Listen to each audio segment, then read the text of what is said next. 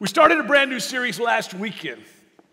I want to continue what we started last time in a brand new series simply titled A New Chapter, A New Year. There's more to your story. And I want to begin this weekend by asking you just, just a quick question. How many of you have at least one regret from 2022, or maybe one regret from the first two weeks of 2023? Just raise your hand. Just raise just a moment. Okay, good. First of all, good for being honest and raising your hand because people beside you didn't, so good for you. But here's the second reason I say good if you raised your hand. I say good because having some regrets is a sign of mental health. All right, I'll try this again. How many of you have some regrets? yeah, yeah, more of you are going to raise your hand this time. In fact, Karen Schulz, in her TED Talk, and if you've ever listened or watched TED Talks, can be incredibly interesting. She did a TED Talk on regret, and she said the following The inability to experience regret is actually one of the diagnostic characteristics of sociopaths. It is also, by the way, characteristic of certain kinds of brain damage. People who have damage to their orbital frontal cortex seem to be unable to feel regret, even in the face of even obviously poor decisions. So, if you want to live a life free of regret, there is an option for you. It's called a lobotomy. A better option is to think differently about your regrets. Regret, regrets don't just remind us that we did badly, regrets remind us that we know we can do better. And you can do better, and so can I. You can do better, and I can do better because there's more to our story in God. Listen, regrets are a chapter in our life. And let's get real. For some of us, they are many chapters in our life, but they're not our whole story. A chapter is not the whole book, a chapter is not your whole story unless you and I allow it to be. The gist of this new series is there are chapters we experience, but we don't have to let that chapter define the rest of our life or be our life because there's more that God has for us. There's more to our story than any of us have ever experienced. Regret chapters, if they're handled in the best ways, if they're handled in God's ways that we're going to talk about for the next few moments, can actually energize us for the pursuits of newer chapters and a bigger, better life. And that is what God has for us. Those, aren't just my words to you, those aren't my promises to you. They're God's words and promises. Paul writes them in Ephesians chapter 3, verse 20. He writes, Now glory be to God, who by his mighty power at work within us is able to do far more than we would ever dare to ask or even dream of, infinitely beyond our highest prayers, desires, thoughts, or hopes. That's God's word that you've not begun to dream what God's dreamed for you.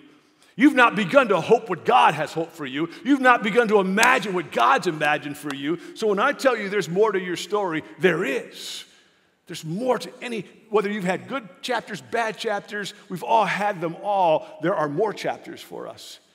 In fact, there's a song we used to sing, and one of the things at Bonita Valley, we've done a lot of songs through the years. One of them, the, the English wasn't great, but the message was. And the message is, You ain't seen nothing yet.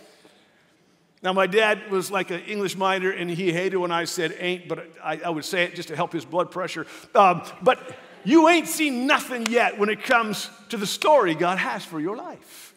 You really haven't. And far too many people allow chapters to be their whole story when it's never meant to be our whole story.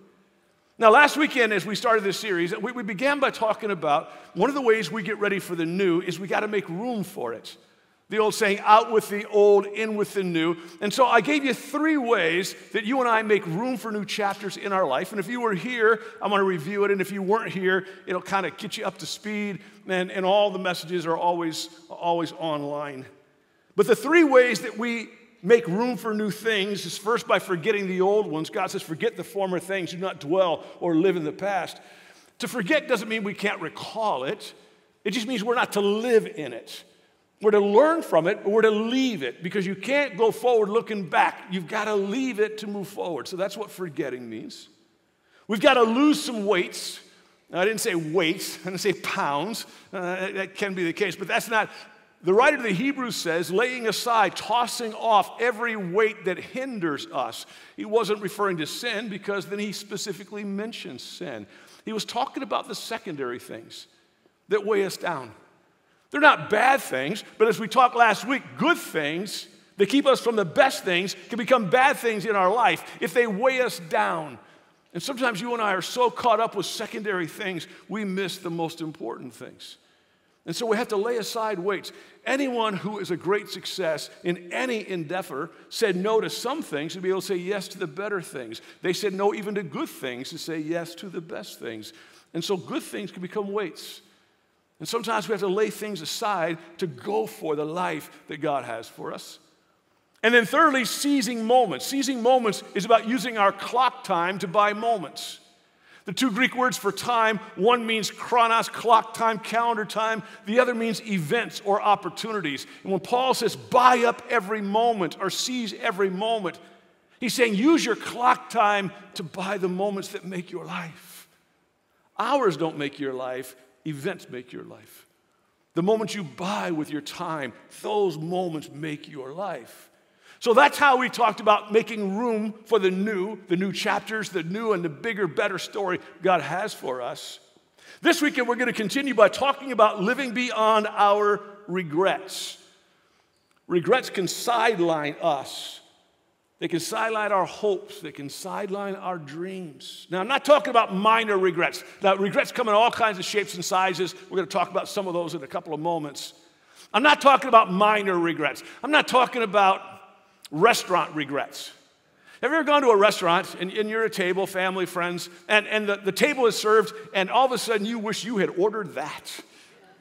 Why didn't I? Have you ever had restaurant envy? I wish I'd had that. Our dessert comes. Come on, have you ever been at Cheesecake Factory, dessert, and you follow the dessert person? Because you're like, I wish I had ordered that. Now that's restaurant regret, and that's easily fixed. Next time, order it. Or if you're sitting beside a spouse or friend who ordered what looks so good to you, just help them. Eat it. Let them regret sitting by you. Just eat, help, help yourself. Share the regret, share the food. Okay, I'm not talking about those kind of minor regrets. Oops, I missed that. I missed that. No, no, no. I'm, I'm talking about the kind of regrets that are life crippling. I'm talking about the kind of regrets that are life crushing. I'm talking about the kind of regrets that we think, I will never, I'll never get past this. And if the truth be told, there are many of us who haven't. There are some things that have happened in our lives that we so deeply regret, and those regrets, it's like a bag, it's a weight that we carry that just keeps us from experiencing the bigger, better, newer that God has for us. And so we're going to talk for the next few moments. What do we do with those? How do we, how do we live beyond? How do we move beyond our regrets? And there are three ways that I believe God helps us with it. There are many, but three we're going to look at just for a couple of moments. And, and if you're following along on your phone and the notes you can, or online, all of our family and friends online, you can print out and follow along. And here's the first one Living beyond our regrets begins with reviewing them.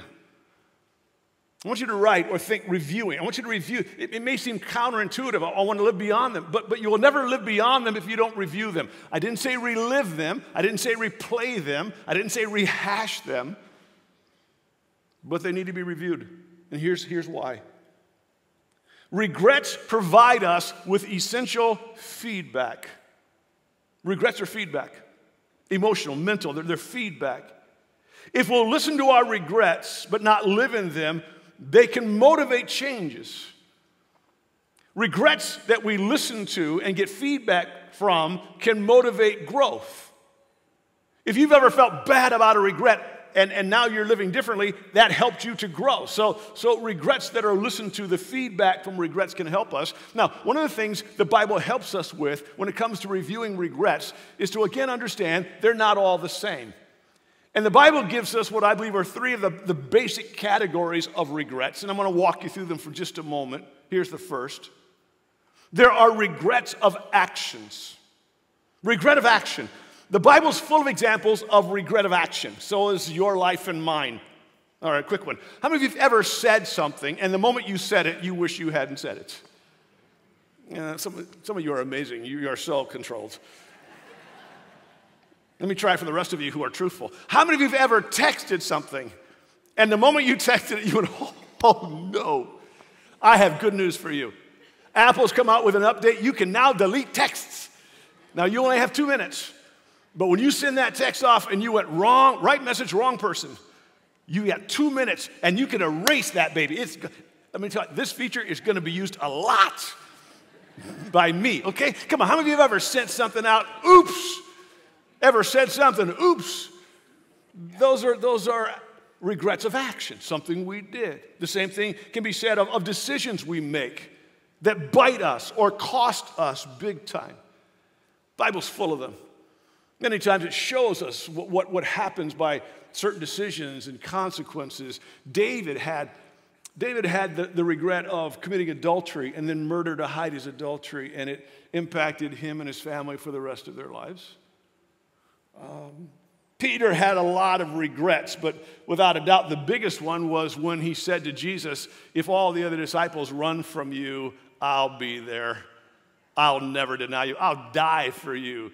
Yeah, he meant it, but he couldn't pull it off. He couldn't do it. And when the pressure was on, he ran like everyone else and went beyond everyone else. And the three times he denied, I even know who he is, and he cursed his name.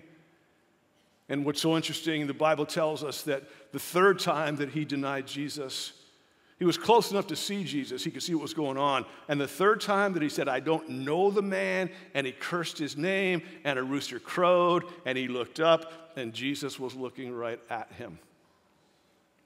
How many think that look might haunt you for the rest of your life? I just said, I don't know you, and then I look right into your eyes. And the Bible says that Peter went out into a field and he wept bitterly. The, the word just means he just he just lost it. That's, that's a regret of action. The Apostle Paul had action regrets.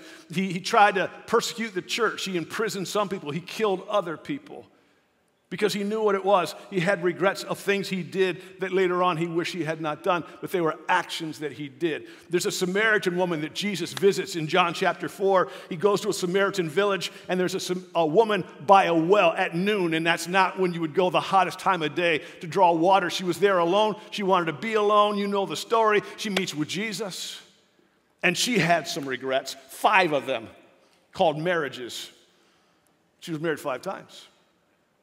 And every one of those marriages represent pain.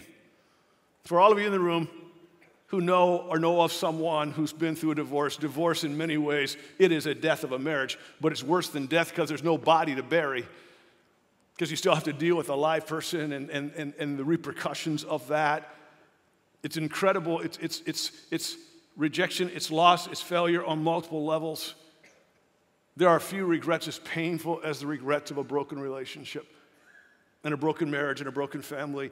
And this woman had been broken at least five times. Her heart, her life, her relationships. There's, there's so much more to that story than we even know. I'm just telling you, those were all five marriages are five decisions and five regrets of actions. And we all have them. Sometimes we immediately know, I should not have done that. Sometimes we figure it out later, I should not have done that. But that's one type of regret, the regret of an action that we did. Here's a second. Secondly, there are regrets of inaction. James 4, verse 17. James writes, Remember, it is sin to know what you ought to do and then what? Not do it. Hold it. The sin of action, biblically speaking, is called the sin of commission. You do something, you commit something. But biblically speaking, there is a sin of omission. The sin of omission and sin, again, don't think in terms of rebellion as much as sin is missing the mark, it's missing the plan, it's missing the goal, it's missing God's best.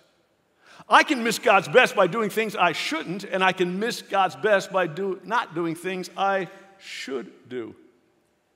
It's the word I didn't say, it's the deed I didn't do, it's the call to obedience that I didn't follow. And what's really interesting is that, that these things in surveys of regrets, these things that we didn't do that we should have done are often the biggest regret that we have. There was a, really interesting survey, and, and over the last several, actually, months, but especially weeks, I've been reading through multiple studies and research on regrets. It's an amazing, amazing field of study because everybody has them. And, and in a study of people, and they asked them, write down your, your biggest regret. And let me just show you a few of the regrets this, this test group wrote down. Burning bridges, never speaking up, not being a good husband, should have spent more time with family, staying in my comfort zone, not saying, I love you, never applying to med school, not making the most of every day, not being a better friend. Now, one of the things about this list, and the reason I wanted you to see it, I want to give it to you, was as I went through this list, the one common denominator, other than the regret, is most of them started with the word not. I regret not doing something. I regret not saying something. I regret not pursuing a dream. I regret not going to medical school. Again, as those who research regrets, and there are two social psychologists and researchers, Tom Gilovich, Vicky Medvec, and they study regrets. And here's one of the things that they have found that people tend to regret their actions in the short term, but their inactions in the long term. That when people look back at their life, the thing they regret most is not what they did, it's what they didn't do. In fact, statistically, 84% regret more what they didn't do to 16% of what they did. I wish I had said this. I wish I had done that.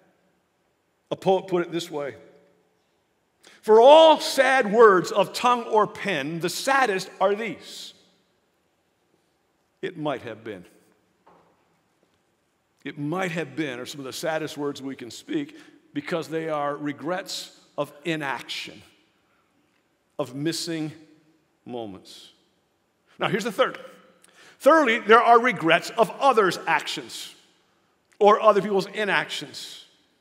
What I mean is, some of our regrets, it wasn't something we did or didn't do. It was someone who didn't say something to me or do something in my life or, or give what was needed in my life. Failed to say something or said something they should not have said. There are so many in this room. Again, if we had the time, and we don't. But some of you had things said to you when you were a child, five, six, seven, eight years of age, and you still remember it. You were called a name at school, you were called a name in your family, you had somebody pick on something about you. And you're now, it's 20, 30, 40, 50, 60, 80 years later, and you can still quote it. You didn't do it, you didn't say it. It's a regret from what someone else did or did not do. And, and it's so important the abuse, neglect, rejection, betrayal, mistreatment, abandonment. I know they're painful, but it's still important to review them because they offer us essential feedback into ourselves, into others, and most importantly, they offer us essential feedback into God. Here's what I mean sin has been described as the attempt to meet a legitimate need in an illegitimate way. Sin is missing the target, it's missing the mark, it's missing God's best way for the best life. And when you and I sin, it's not that the desire was necessarily wrong, but that way we fulfilled it was. Or we allowed the desire to take us in a bad direction. I think the same thing can be said of regrets, honestly. As I review regrets in my life, review regrets in your life, many times the things we regret were legitimate. We wanted them, we needed them, but we went after them in wrong places. We tried to find them in wrong people. We tried to find them in, in, in medicating ourselves in a variety of ways. And, and, and all, listen, at the bottom of our regrets, my opinion, is regrets are spiritual hunger. Regrets are a hunger for God. We have a hunger for more, but where's the more found? It's found in God. And so by reviewing all the things I chased, I find out the one I need to chase is God. Because the only one who can fill my life so full that I don't regret is God. So, so regrets, regrets are so important for us to review. That's the first way that you and I live beyond them. Now, here's the second. Living beyond our regrets, secondly, requires repenting over them. Now, again, I'm aware repenting is not a word we use a lot. It's not used very much, except maybe in church. And, and again, many of our terms we need to define. Repenting comes from a, a compound Greek word. Repent is metanoia. Metanoia is, is two words. Noia is the part that has to do with mind or thinking.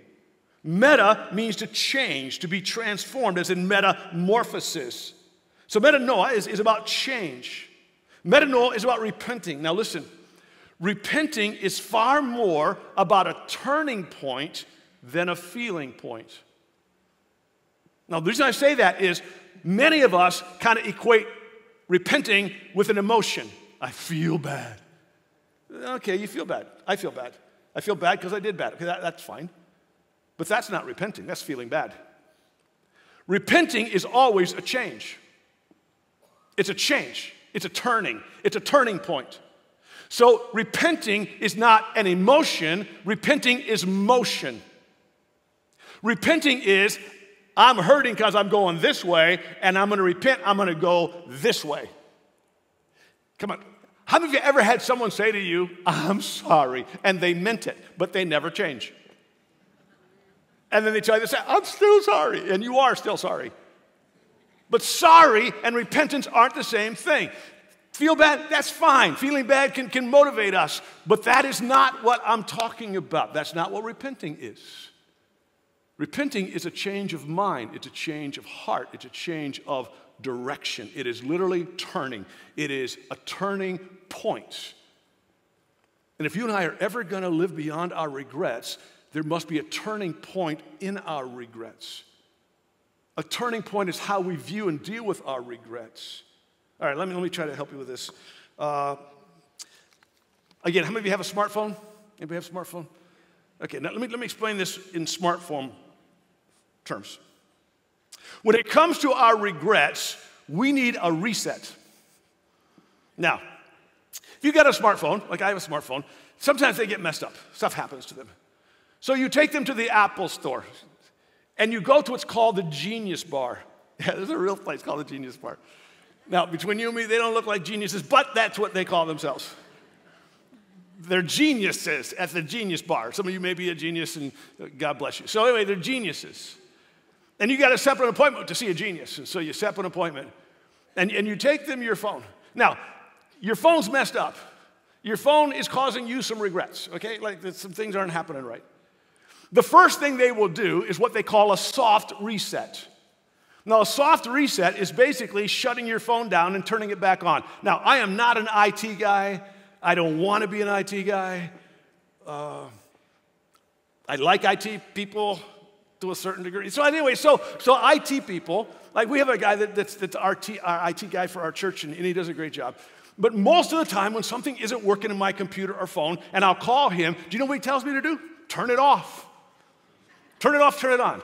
So I have learned many times, like my wife, I will fix her phone, and because uh, I'm brilliant, no, I just turn it off.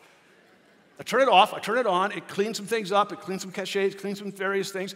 Now, I have two ways of fixing things I turn it on and turn it off, or I use what's called impact maintenance. I mean, you hit it, right? Like sometimes it's a bad connection. Keep a rubber hammer close, like, like hit something. And if it's a bad connection, maybe it'll knock it back together.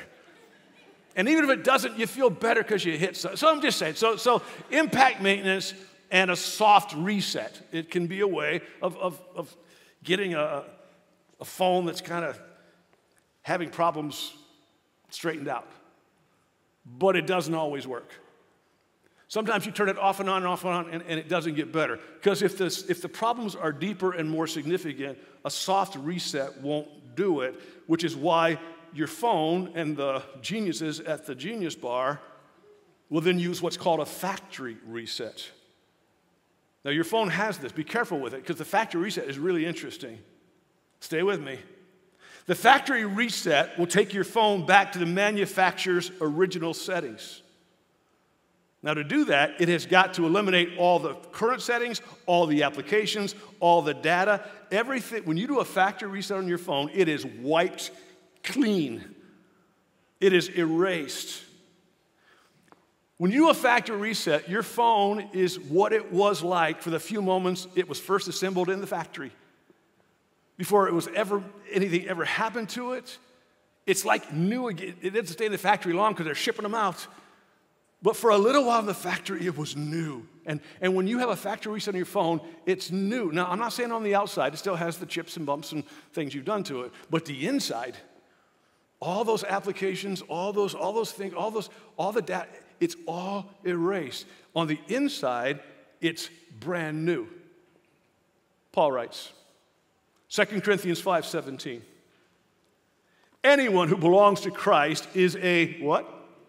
New person. The past is what? Forgotten. And everything is what?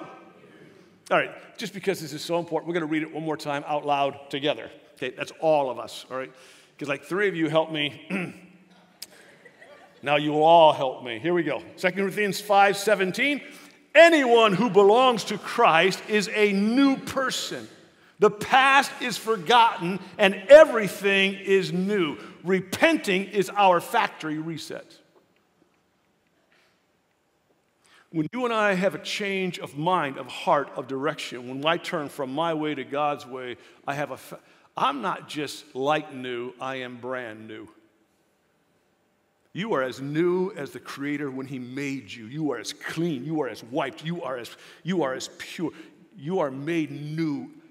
I am new in God's. Now, that doesn't mean on the outside there's not still some bumps and scrapes. And yeah, and one day you're going to have a new outside. That's another good chapter coming.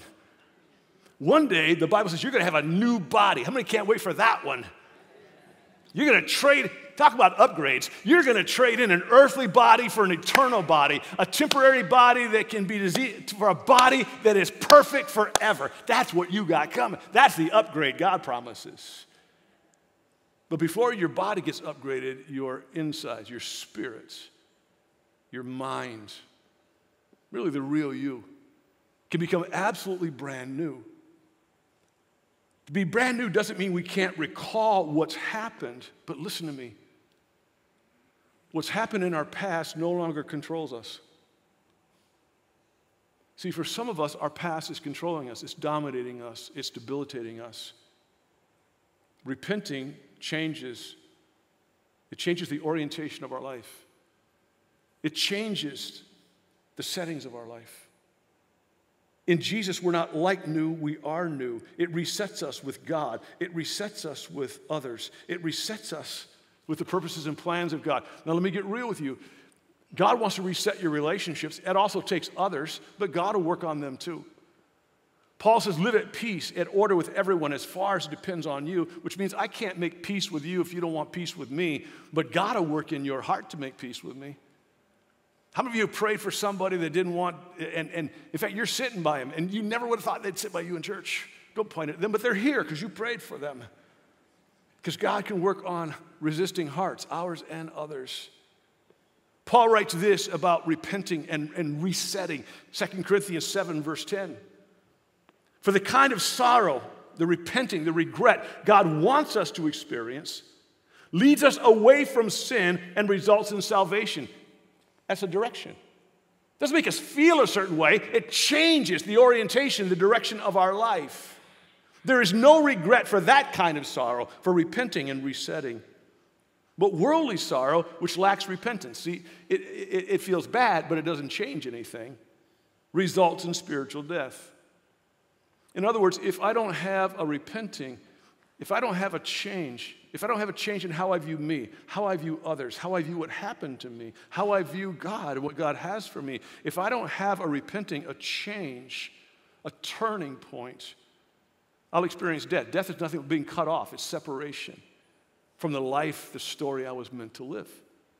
So, the first key to moving beyond regrets that debilitate us and weigh us down is I got to review them, understand what they are, how they are. Then I need to repent. I need to, I need to have a turning point of how I think, how I act, a, re, a, resetting of my whole inner life by God. I'm made new in God again, brand new in God. And then there's one more.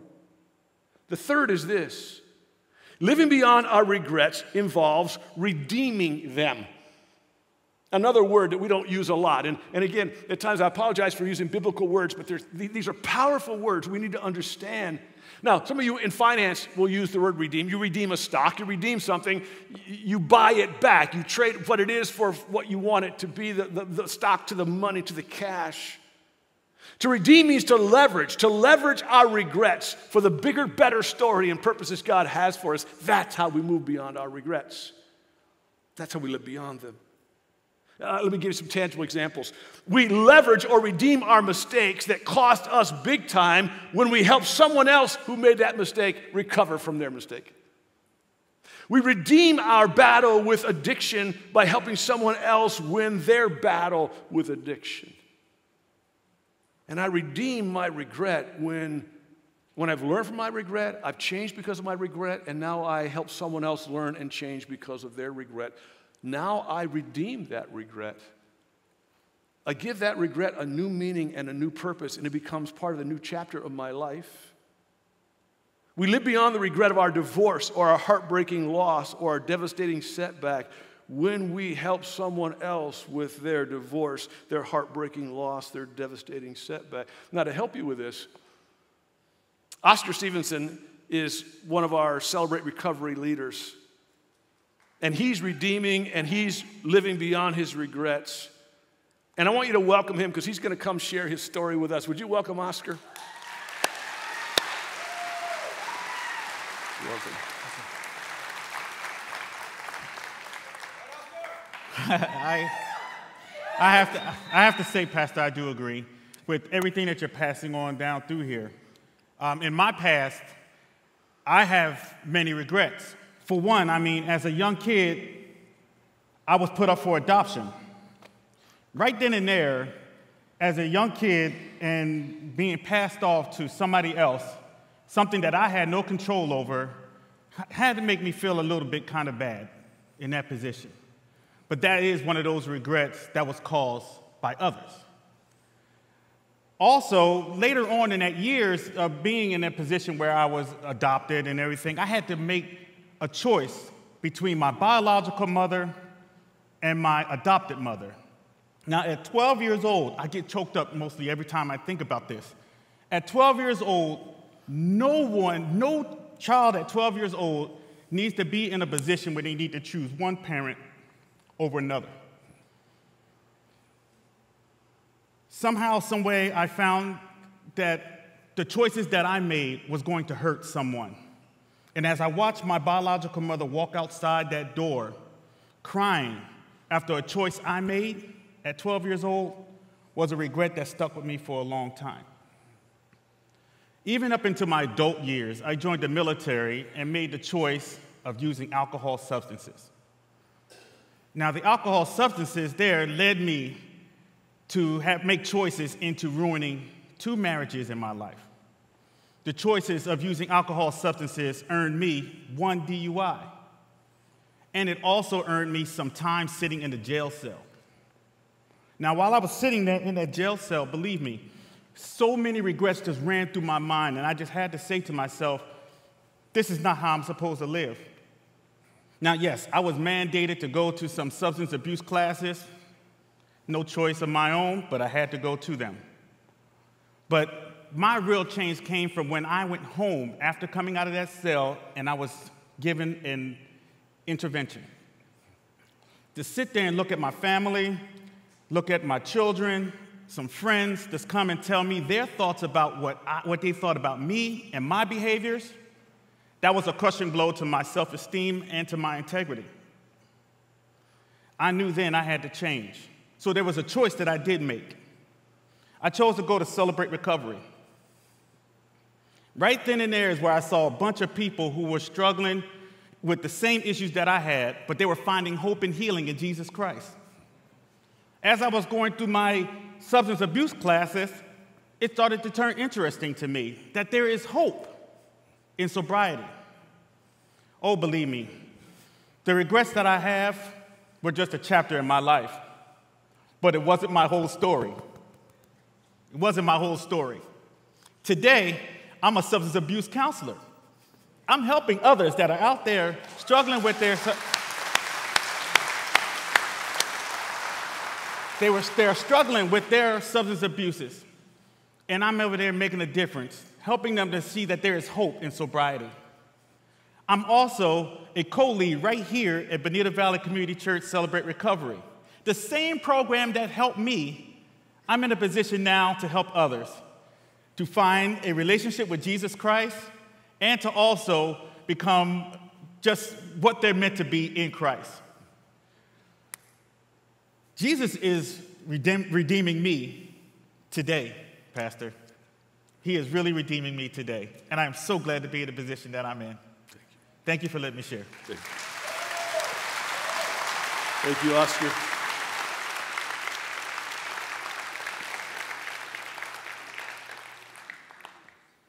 One of the things I love about Oscar's story and Oscar being willing to share it, and some of you need to hear this. Some of your biggest regrets are going to become opportunities for some of your greatest life changing ministry. The things God brought you through, He's going to use you to help bring others through. And many times, why did this happen to me? Why did others do this to me? Why did I do this to myself? Why did I allow this to happen? And, and there's all kinds that we talk about, we need to review our choices, others' choices, how it happened. But the ultimate deal is God can buy it back, He can redeem it. What others meant for evil, what Satan meant for evil, God means for good. And He can make that very place of our greatest wound become a source of our greatest influence and help for others. One of my favorite quotes that, that Oscar's story reminds me of is a C.S. Lewis quote. And C.S. Lewis says this I'll put it on the screen. He says, You can't go back and change the beginning, but you can start where you are and change the ending.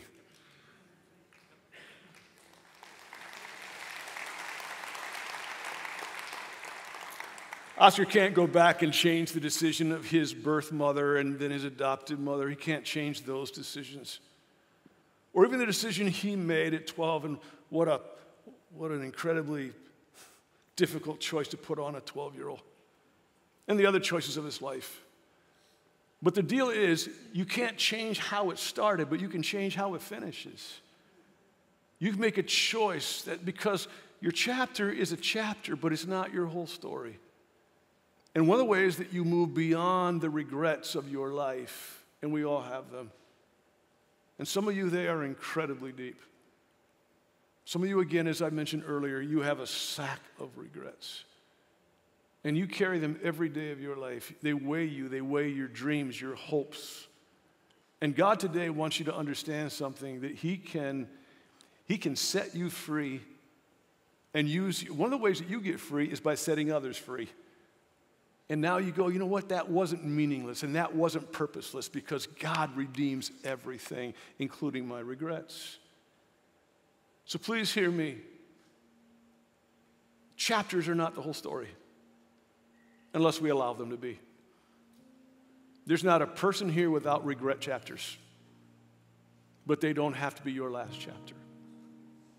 How do we live beyond our regrets? How do we move into a new year and new chapters? God helps us three ways.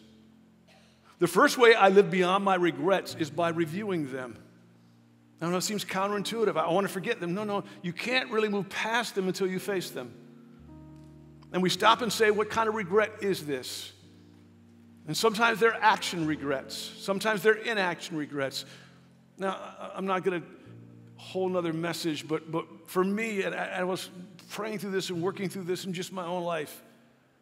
Uh, I have I had a habit. My mom and dad are both now in, in heaven with, with, with the Lord. But when, when they were on earth, I would call my parents every Saturday. They live in Michigan. And so I would call them every Saturday. And, and often my dad would answer the phone and say, Here's your mom. How many of you know what that's like? Like, dads are good about handing the phone to someone else. And, and my mom, again, she's in heaven, so if she's mad at me, she, she can't send there. But um, my mom, it was easy to talk to my mom because you didn't have to talk. She just carried the whole conversation. She did her part and your part. So my mom was easy to talk to. And so I, my mom would, would talk and, and go on. And, and I would call every Saturday. And then it was a Saturday that she, that she died, and they were coming back from a family reunion. And, and, and I normally called on Saturday, but I didn't call on that Saturday because I, I know they're traveling. I could have called because they have phones and they could have talked, but, but I thought, oh, they're traveling and I'll just wait and then she went into a coma on that Saturday and never woke up. Now, again, that's a regret. Uh, no, listen, I, I talked to my mom a lot, but it's like I, I still should have called. I, I didn't make that mistake with my dad. After her death, I called him every single Saturday, no matter what, no matter where, no matter where I was, when it was. I called him on Sundays. He would watch the webcast, and I'd call and say, Did you go to church today? And he, Yep. And so we would talk, and so I called him every Saturday, every Sunday, eh, no matter where I was, because that was a regret I didn't want to have with my dad. It wasn't a make or break deal, but I, I, wanted to make sure. And I've told you previously as a pastor, I'll get calls, someone is dying and, or they're sick, and can you see them? And, and I'll, I'll be there in a couple of days. By the time I got there, they had passed away. So when I get those calls, I go right away if I at all can, because I don't want those regrets. So there are action regrets and inaction regrets, and I got to review them. And, and, and by reviewing them, they motivate me, they fuel me. I don't want to feel that. I don't want to be like, I don't want that again. And so review your regrets, your action, your inaction, what you should have said, what you should have done. Review what others did to you and understand that that wasn't God. God didn't do that to you. But God can use what others do to you. It moves us to the second way we, we, we, we move and live beyond our regrets is by repenting. Repenting is, is not a feeling point, it's a turning point.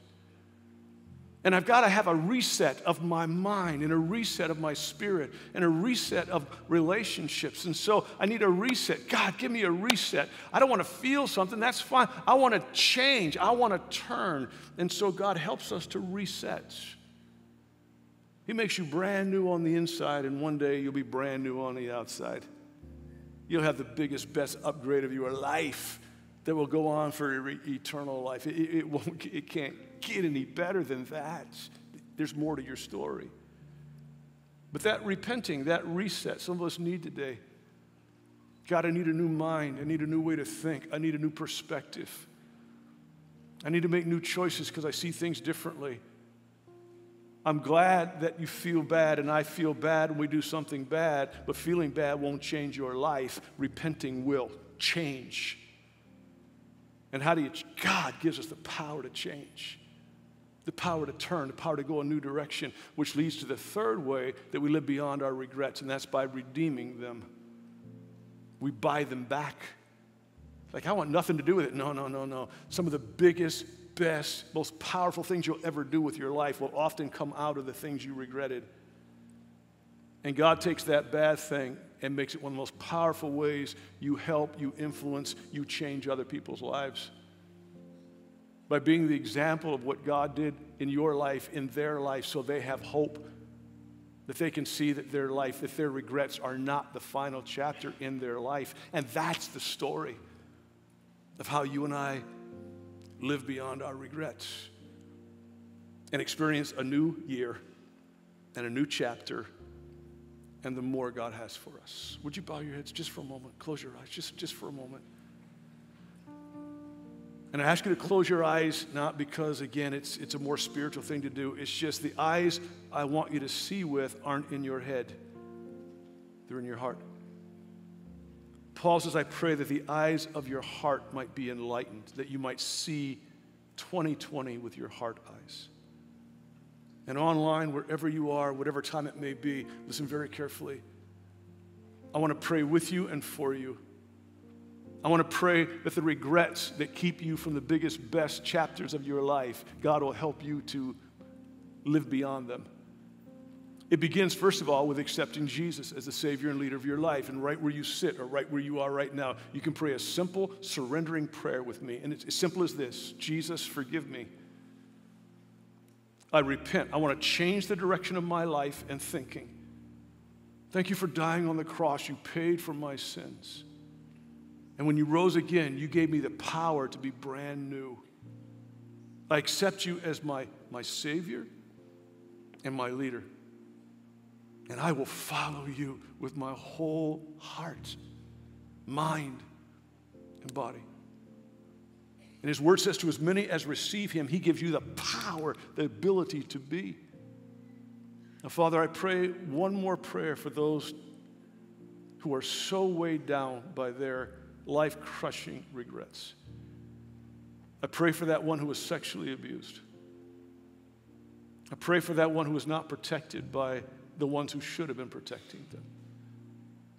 I pray for that one who's been through a divorce. It was not their choice. I pray for that one, Lord, who went through some incredibly damaging experiences that was not, not their plan. I pray for parents whose hearts are broken. I pray for children whose hearts are broken. And I thank you that your word says you are near to the brokenhearted. I pray for healing. I pray for hope. I pray for new chapters. I pray, Lord, that we would turn the page. And I thank you for a new year, and I thank you for more than we've ever dreamed, thought, hoped, or imagined. In Jesus' name.